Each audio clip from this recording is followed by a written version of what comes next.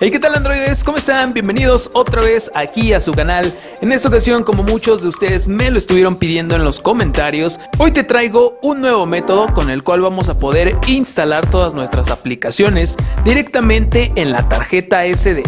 Este método no requiere de permisos especiales ni de ser usuario root.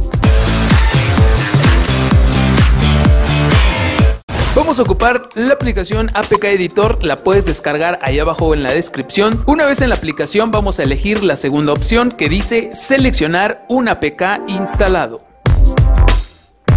Después de esto vamos a buscar la aplicación que tengamos instalada y que quieramos mover a la tarjeta SD. En mi caso voy a probar con la aplicación de Retro Music, la vamos a seleccionar y después de estas cuatro opciones vamos a elegir la que dice edición rápida.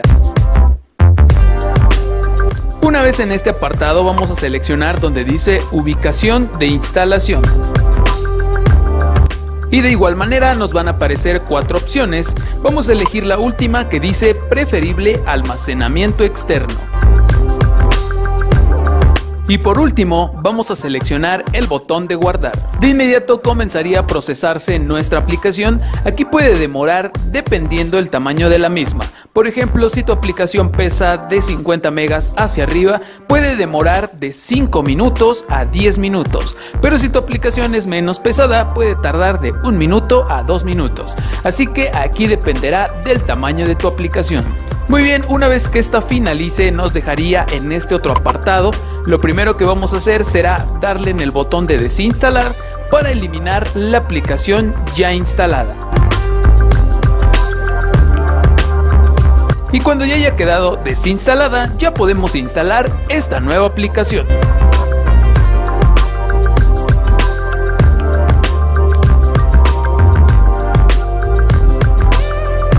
Me gustaría mostrarte que sí fue instalada en la tarjeta SD, pero desafortunadamente en mi versión de Android 7.0 esto ya no es posible. Así que pruébalo si quieres deshacerte de aplicaciones de la memoria interna y pasarlas a la externa, pues utiliza este método 100% funcional.